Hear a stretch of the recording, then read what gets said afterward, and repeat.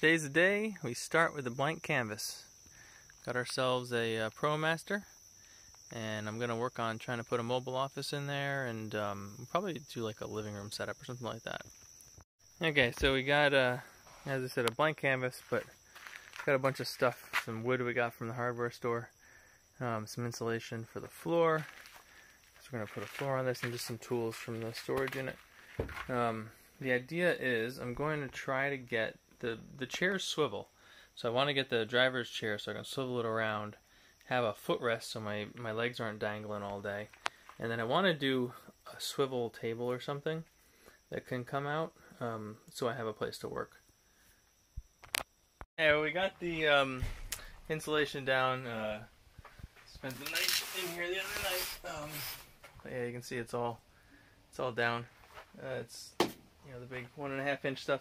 So now we're using this. Uh, let me see if I can get a good shot. Yeah, the sun's kind of in the way there. Um, so it's it's a vinyl tiling, I guess is the right name, but it's it is super super super easy to to use. Um, you can look up a video on how to cook it together, but it's I was very pleasantly surprised how easy this is to put together. So this should go relatively smoothly. We're gonna leave little dots here, uh, like like draw a little marker um, in the middle because we don't need them right now. We're figuring out how to do fasteners on the walls to kind of make anchor points, but I kind of wanted these exposed in case we need to tie something down there in the future. So, you know, at least the insulation's cut. So if we need to make a hole, it'll just be in the vinyl. Um, but yeah, this is going pretty well. So I should at least be able to get this laid today, and then maybe start working on the bed frame. I think I'll work on the bed frame. Okay. All right, and here it is, finished product after putting all the flooring in.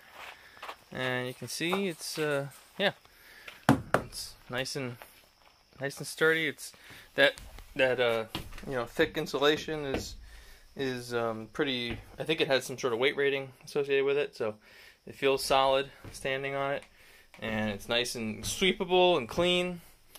Um, yeah, and then it stops. Uh, you can't see but back there behind the behind the sheets.